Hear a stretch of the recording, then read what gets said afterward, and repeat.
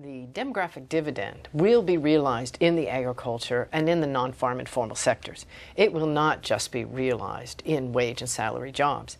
Right now, um, in many countries, less than 15% of the labor force is currently in non farm, modern enterprise, or public sector wage and salary jobs. We want that to grow as fast as it can, but with the vast number coming in, we have to face the fact that most youth are going to work where their parents uh, worked in either the agriculture sector or they're going to leave the agricultural sector and move to the non farm informal sector. This means very small businesses, what we call mom and pop.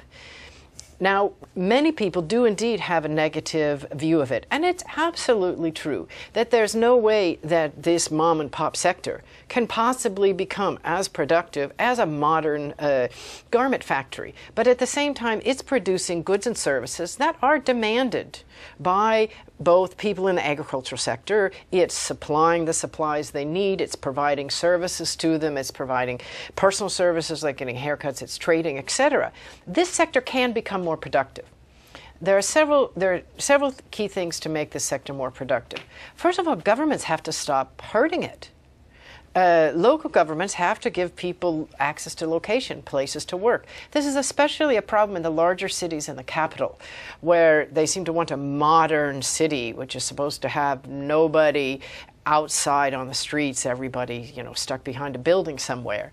That's not how Asian countries realize the demographic dividend. So it starts at the top with the national government. It starts with the local government recognizing that uh, this sector may be growing you know, fast or faster than their city is growing, and that they're going to need that number of workplaces.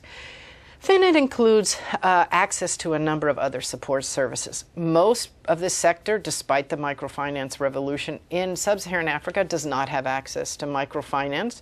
Uh, we need to work on that issue because uh, everybody needs a little bit of working capital, households, businesses, whatever. Um, uh, there are issues of um, of life skills, of technical skills, of business schools.